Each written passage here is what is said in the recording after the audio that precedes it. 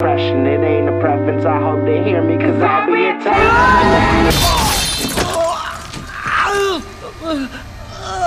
in time.